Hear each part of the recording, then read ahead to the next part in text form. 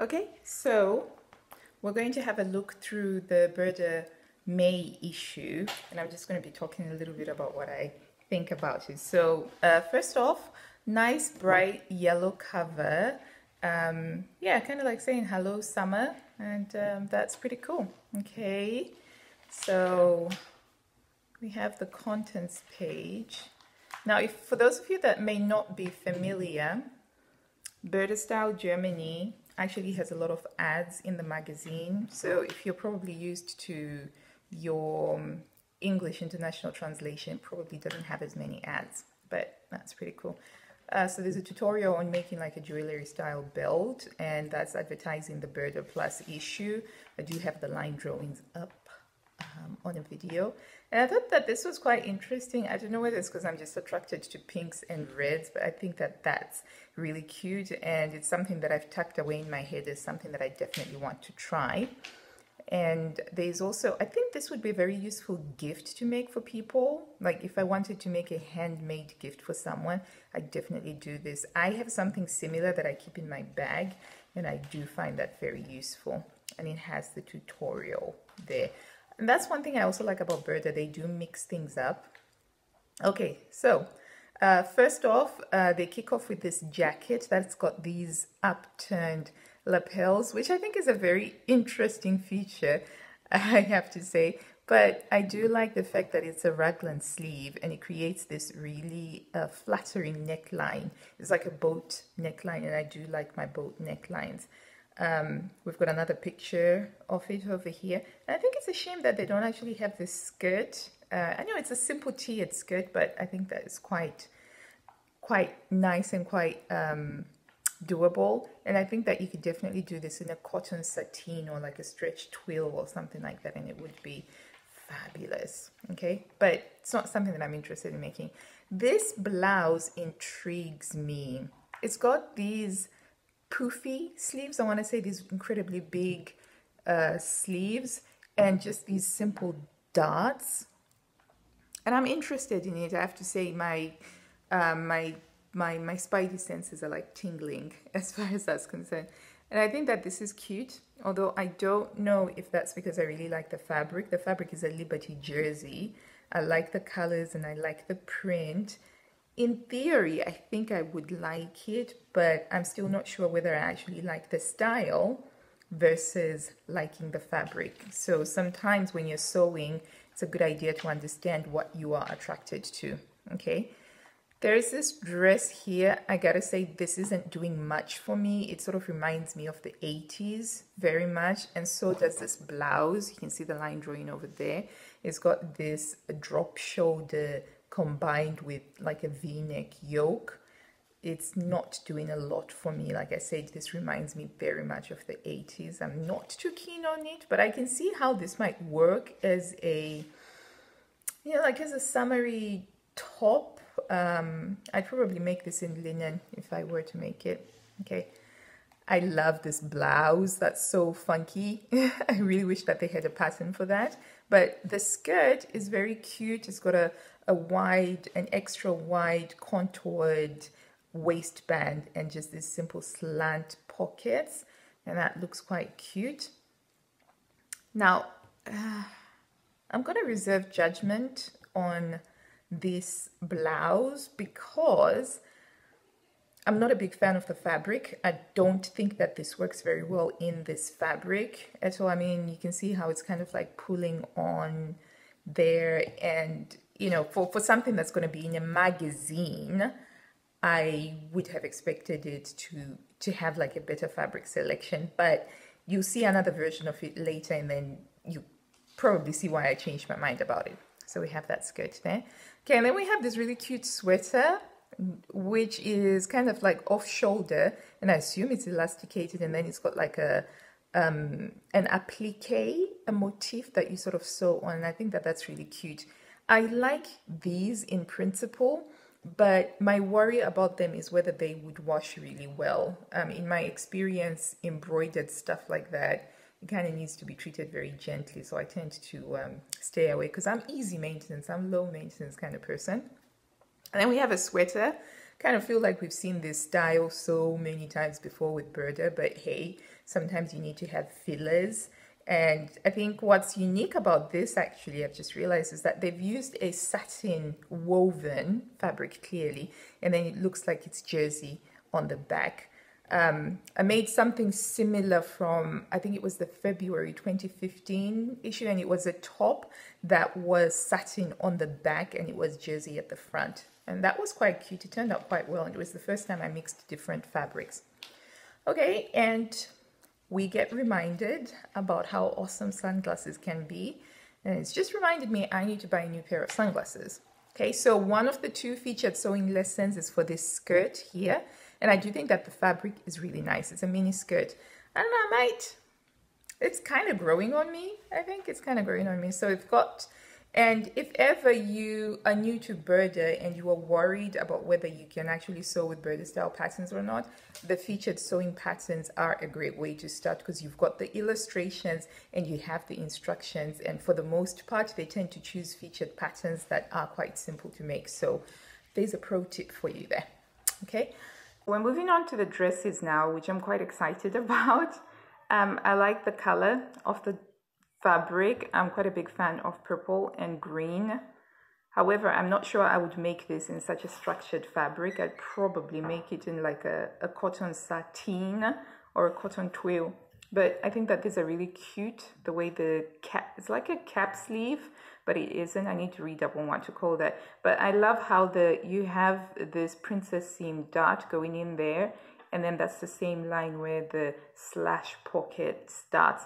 And then you've obviously got that congruency that you have with that dart on the bodice and the pleat that you have on the skirt portion. So i think that this is overall quite a cute little design. Nothing unusual nothing new but it works okay this I'm a little bit excited about. Maybe it's because they've used a flowy viscose material and it's very obviously flowy. I'm quite partial to drapey flowy fabrics that move when you move. And I'm quite partial to the cutaway shoulder as well. I like cutaway shoulder um, dresses. So this is definitely up there on my potential makes. I've got some viscoses that I think would go well with it. Now this, I love this. I love everything about this, the simplicity of the style. So it doesn't have any darts at all on it. Um, so it's going to be quite loose fitting, but they've put the belt to cinch it, but I imagine that it is loose fitting and it doesn't look like it's got a zipper as well. I'll check when we get to the instructions, but it doesn't look like it's got a zipper. But this is so cute. I love this fabric. I wish I could get my hands on this fabric. I also like that it's got these slits at the side. So even though the skirt is quite narrow, it's like almost a pencil skirt, your stride isn't limited because you have the slits and that's important for me. Okay, and then we have style number 109 Interesting use of fabric. Now this actually reminds me of one of the dresses that's in the Burda Plus, um, most recent issue of the Burda Plus, the same one where you've got like the princess lines and you've got sort of like a center bodice piece that's wrapped over. Um, the only difference I think is the belt. So this is an interesting um, dress. It's quite formal, but I probably won't be making this one this time around. Now, I don't know what to think about this dress. It's oversized. Again, it kind of reminds me of the 80s to a certain extent. But the thing about this dress is when I saw the way they styled it here, I was like, nah, ah, no way, I'm not doing this. But then I saw it later on when they styled it differently, and then you see what I mean. I kind of like fell for it. And then we have a jersey wrap dress here. This has got some 70s vibes going with it. And it's also got um, these drawstrings on the shoulders. And I think I like that. I tend to like things that do something to accentuate the shoulder uh, thing. So I like this. This is also available as a longer one, but I'm definitely going to be going for the shorter one. I don't think I'll be going for the longer one. Okay. Right. Um, again, continuing with the over sized dress theme. I kind of feel like the upper half of this dress is like the t-shirt in the April issue and then they've just added a skirt with pockets to it. Um, it's oversized. It looks like it would be comfortable and definitely with how they've styled it with the trainers, it's kind of probably going to be a comfortable dress. Um, I'm not sure. I think that this is like a a, a wild. Uh, what do they call that? Um, a wild card. It could be one of those that you make and it will turn out and you love it so much. It'll be the sort of thing that you keep wearing, or it could just be horrible. I don't know. Okay, so this is the longer version of the wrap dress, a couple of pages before. And I think what really works well for this dress is the fabric that they've used. It works really well. Although I read somewhere, I think it was the Vogue sewing book, which said that you shouldn't place stripes horizontally because apparently that's supposed to make you look wider and that you need to use stripes. Uh, no, you shouldn't place stripes vertically. You need to place stripes horizontally. I can't remember. It might have been the other way around, but it was in the Vogue sewing book. Okay, here we have another cute cocoon style dress. I'm not too keen on how this narrows in. It creates a pegged silhouette. I've got a I've got a wide stride, so when I'm walking, you know, I really put one foot one foot far in front of the other. So I'd have to see what the back looks like. I hope it's got enough of a vent for that. But otherwise, I quite like this style. Probably wouldn't make it in this washed silk that they used. Um, I'm too precious about silk. But yeah, so again, this is another version of the uh, dress that we saw a couple of pages back. I do not like this bag. Why would you have a clear plastic bag like that?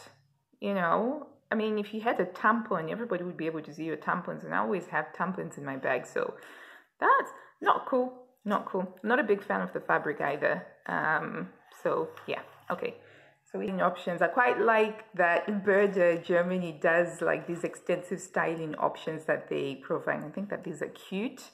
Um, oh, this jacket looks similar to the jacket from the March 2019 issue, but it's showing one 2014. So, you know, Burda are quite good at recycling the styles that they have in a new way. Again, some more styling ideas and advice for some of their patterns, past and present, which I think is a really great feature. Oh, these are nice shoes. I like those, and those are Marks and Spencer's. okay, right? And then we have another sewing lesson for this oversized summery dress. So again, these are great projects if you're somebody who's worried about sewing with Burda. You have the pictures and you have the instructions. Uh, and if you buy the English translated version, these instructions will be in English, obviously. Okay, so yeah, I also have uh, the Burda Kids. I need to do a browse through for that because I've got some things I'm planning on sewing. Okay, so one thing that Burda have been doing recently is that they have been reissuing their vintage patterns. And I like that because with each issue, they're just sort of like giving you an example of what Burda used to look like way back in the day. And this time they've picked, I think it's like a 50s style. I love the fabric more than anything else with this. I'm not sure that that's a style that I could carry off. Um, unfortunately, I don't know. One of these days, I might challenge myself to actually do something that's like a vintage inspired theme. Although I do like 70s, I like 70s vintage style, not so much. But yeah, so you've got this. Um, I mean, they've put it at a three dots, which kind of indicates that they don't think it's that hard. But this to me looks like it's got a petticoat underneath. Um, so I don't think you'd be able to achieve this volume without some sort of structure underneath the dress itself. So yeah, okay.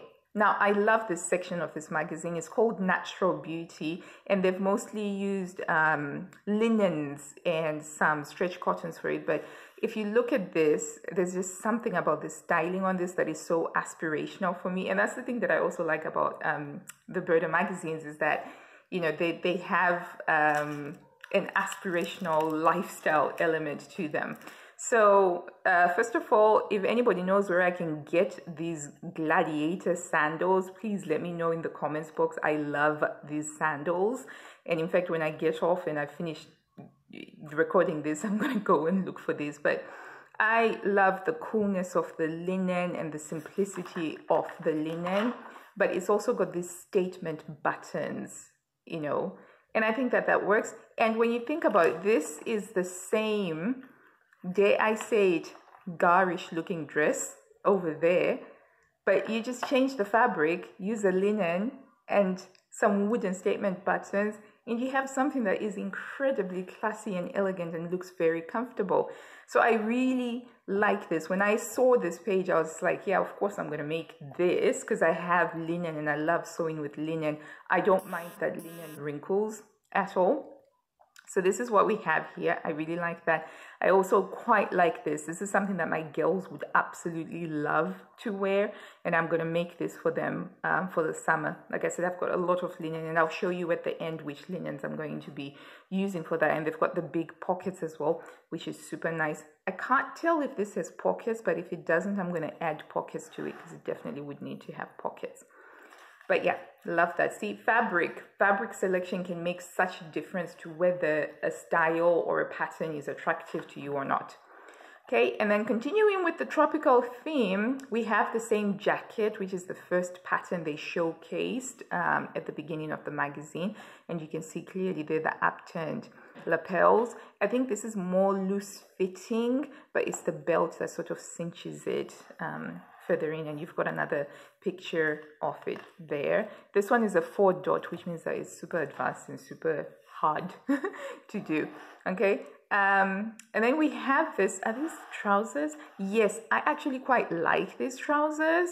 So they are high waist, obviously, and then they've got um, the slash pockets, very similar to the trousers that I'm making. I'm making from the April issue in terms except for these ones I've got the center front zip fly already, whereas those ones I had to add it re retrospectively. But I do like that. I also quite like this cute little blouse, and I was like, oh, it's a shame they don't have that, but never mind. Okay, and then we have that dress again, but this time it's been made in a stretch cotton sateen. Um, and it's all right. Brown is not my favorite color. I'm not too keen on brown, and yeah, enough said about that. Right, so here we've got two things that I actually quite like. I love the simplicity of this linen top and I think that this top would only work in linen because when I first saw it in satin, it just did not, it looked garish to me and I was just like, I, why I would not want to make that. But then when I saw it in the linen, I was like, yeah, yeah, I can, I can, I can definitely do that. I like the tucking at the back. I think that just adds a little bit of style to it. So I'm, I, I quite like this. And I'm also oddly attracted to this style. So when I look at it at the line drawing, it doesn't do much for me. But then when I see this, it's kind of interesting with the text that it has on here. I kind of feel like um, they did this very same pattern, very similar, but as a jersey, like as an oversized, um, using a sweater jersey fabric. And I think that they've changed the neckline somewhat to make it something that you could sew with a woven. And so I quite like this. I'm, I'm attracted to this. I'm curious um, to see what I would look like in such a style because this is a style that I normally would have stayed away from because I've got really broad shoulders for a woman. and so I would have stayed away, but I do like that. I also think that this is really cute and I'm kind of disappointed that they only have it for the kids and it only goes to 140 but that's quite cute and I think what works for it is the statement buttons again. And then you've got like these nice looking comfortable trousers for the kids. So this is classified as a super easy so hopefully I can squeeze it in between my um, Burda style teacher instruction homework that I have to do Okay, and how cute is this little jumpsuit? Honestly, I just think that Burda needs to make this draft this jumpsuit for grown-ups as well. It looks very comfortable and it's in linen and it's got a statement button on the shoulder. I think that is very cute. I won't be making this for my girls though because they don't really like jumpsuits. Um, when they've worn jumpsuits before, they always end up wetting them because they're so excitable. They wait until the last minute to go to the toilet, and then by the time they get to the toilet, they have to try and take off the entire thing. It's a bit too late. So I kind of feel like jumpsuits only work for kids who are very, um, very good at planning their toilet breaks, shall I say. Okay, so that's the mini skirts that we saw before with the floral fabric and using this stretch cotton, you can kind of see the details a bit more.